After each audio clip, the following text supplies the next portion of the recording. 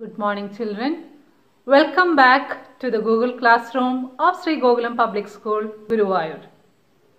I hope all my dear children are very safe and happy at home. So let's move to our lessons.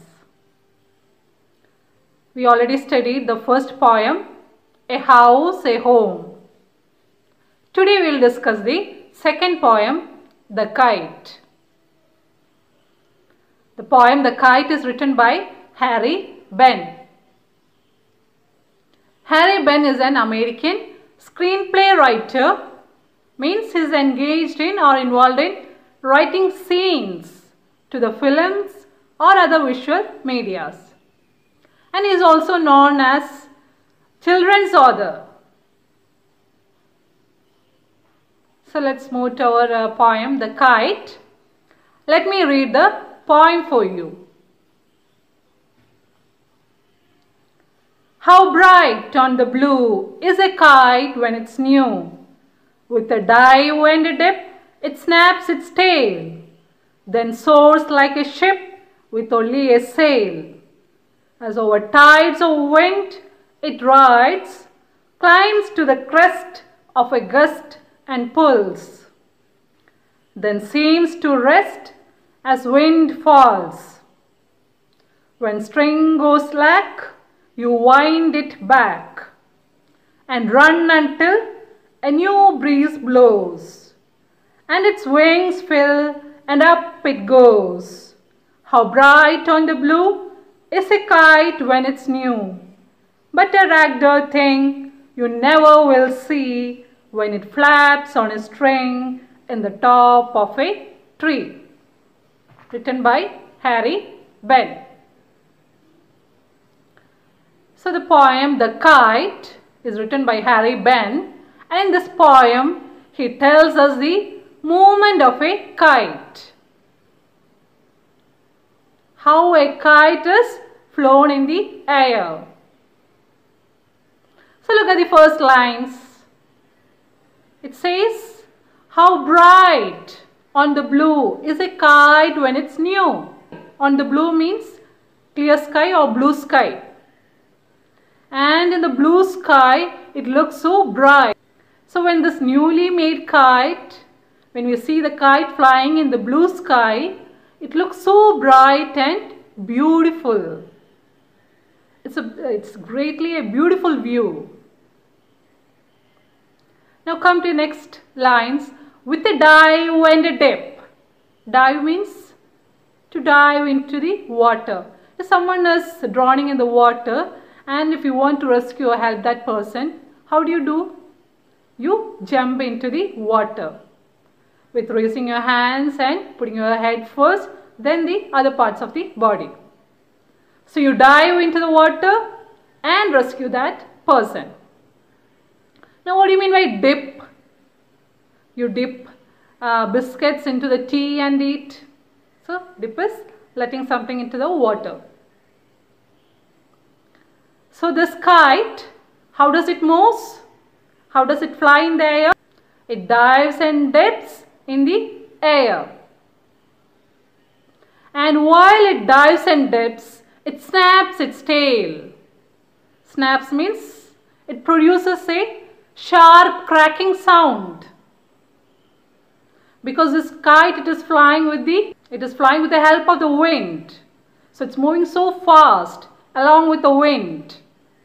So when it's moving, its tail produces a cracking sound, a sharp sound. And then it soars like a ship. Soars means or it fly high. It flies so high in the air like a ship. Then it soars like a ship with only a sail. You know the boat it moves with the help of a sail. Sail is a white clothing on the boat. And the sail helps the boat or the ship to move in the water. It uh, catches the wind. The sail it catches the wind and helps the ship to move on the waters. So similarly, the kite also soars It fly high in the air like a ship. And who helps it to move? Its tail. Its tail helps to move.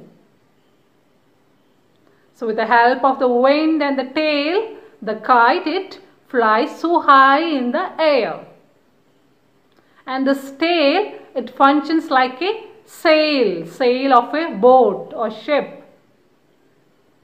So both has the same function. The, say, the uh, tail it helps the kite and the sail it helps the boat. As over tides of wind it rides. So just like a ship which moves on the water, how it moves? It moves with the help of the waves. With the rising and the falling of waves. We feel like the sea has developed hump because the ship moves on the waves with along with the waves. Just like the ship, it sails along with the waves up and down, fall and rise.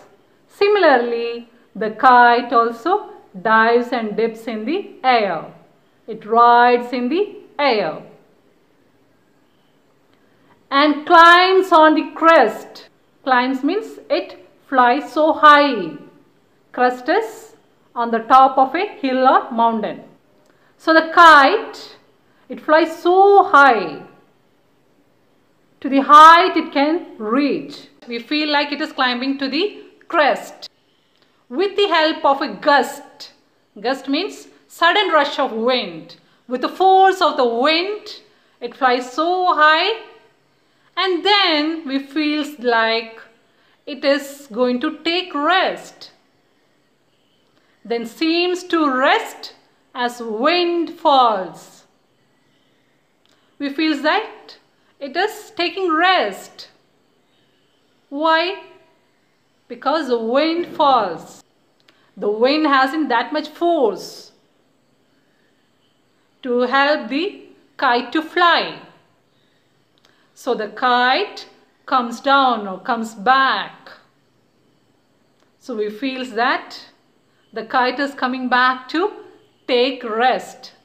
Actually, it is because there is no wind or the wind has no force to help the kite to fly. So it comes back. Even though you haven't flown, you might have seen flying kites. There are many occasions or events in India which is associated with kite flying. On Independence Day, North Indians used to fly kites. Usually they do it. In my childhood days also, I have seen uh, my peer groups or my brothers flying kites. Even though I haven't flown kites, but I have seen them flying kites. It's a, such a wonderful sight to see it. Then I have uh, read it in a book also, in a book titled The Kite Runner, written by Khaled Hosseini. In that book also, the narrator, he celebrates that moment, uh, kite flying moment. It is such an event there, even in Afghanistan. Okay, let's come back to our lesson, the poem written by Harry Behn. So in the first part, we told that the poet is describing the beauty of the kite, is admiring the beauty of the kite. The kite, it looks so bright, so beautiful, so colorful when it is very new. And when it flies in the air, in the blue sky, it looks more beautiful. It's such a wonderful sight to see. Then he describes the movement of the kites. He says that it makes several dives and dips. The first flight may not be very smooth, so it makes several dives and dips in order to fly.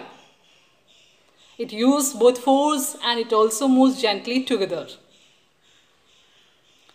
Then he compares the movement of the kite to the movement of a ship. Just like a ship, when it floats on the waters, it flows along with the fall and rise or rise and fall of the waves. Just like that, the ship, uh, the kite also makes several movements. It also dives and dips in the air. The first flight, it may be difficult for the kite. Then it soars like a ship. It fly high. It rises so high and tries to reach the crest.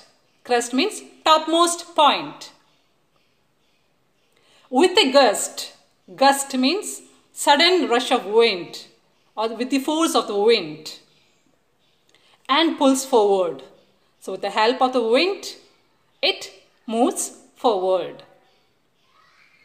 Then uh, the poet says that it may, uh, when the kite, when the wind falls, when there is no wind or the wind hasn't force, at that time we feel like the kite is still in the air.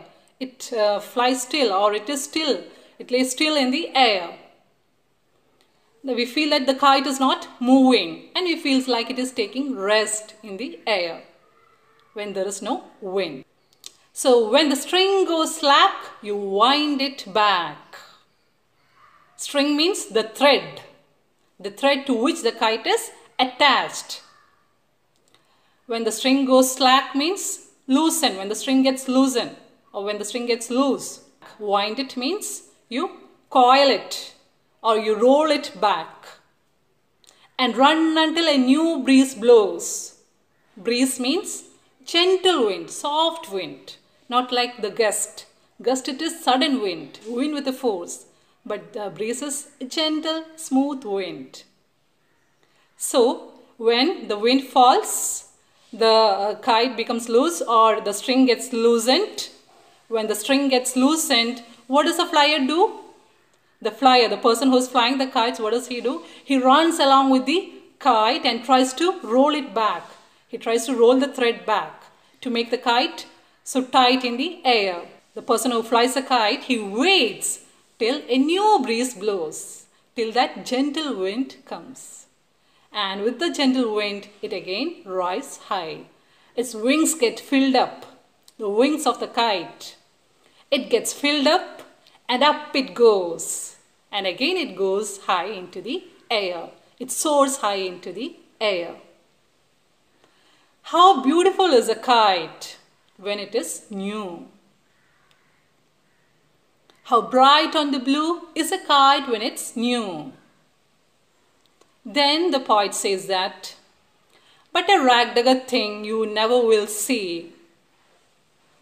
And the, the poet says that, after that suddenly if a kite, if it struck on a tree, if it hit on a tree, or it, let it be anything, it, may, it might be a pole or anything, if it strikes on a tree or hits on a tree, it looks or its wings get torn it tear apart. The wings, the body of the kite, it tear apart. It gets torn or tattered. So when it is torn, it is not such a good thing to look at. You never will see means you will not like to look at such a thing. It becomes a ragdagger thing, a worn out thing. What do you mean by worn out? Worn out means uh, if something is overused, uh, take in case of your dress, if you wear a dress regularly, it becomes so worn out. Out of overuse, it becomes so old. It looks so old. That dress looks old. Similarly, this kite, when it's struck on a tree, it becomes a ragdagger thing. It becomes so worn out or torn.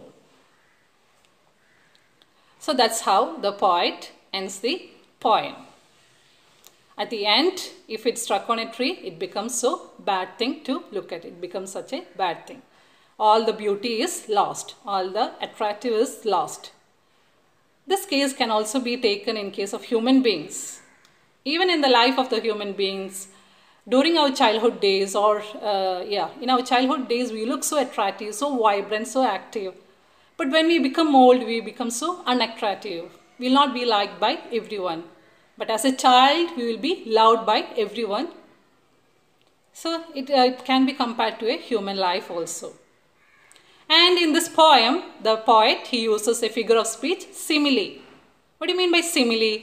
Simile is comparing two things which have similar qualities. Here, the movement of the kite is compared to the movement of a ship. How is the movement compared? Just like a ship floats with the rise and fall of the waves. The kite also makes dives and dips in the air.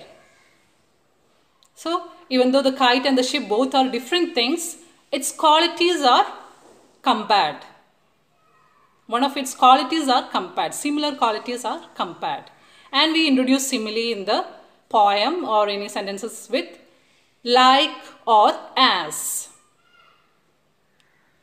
For example, my little brother is as playful as kitten. See, I use the word as. As playful as kitten. Means he is so playful. And it is compared to a kitten. Or my mother sings like an angel. So the voice of my uh, mother is compared to the voice of nightingale or any bird. So if you introduce the words like or as, it becomes simile. You introduce the word like or as in order to compare the similar qualities of two things. It is called a simile. He ran as fast as a lightning. Again, I have compared the movement of a person or the uh, movement of a person to a lightning. So that's how you use similes. So I hope you understood what is a simile and you also understood the poem clearly. So try to work out the activities given in your text. You have to list out the action words or identify the action words from the poem. Just like soars, dive, dip, flies. So you have to identify such words from the poem. The second activity is based on simile. Some uh, sentences are given in your text. You have to complete those sentences. And that is the activity based on simile. So that's all for today. Let's wind up the session. See you in the next class.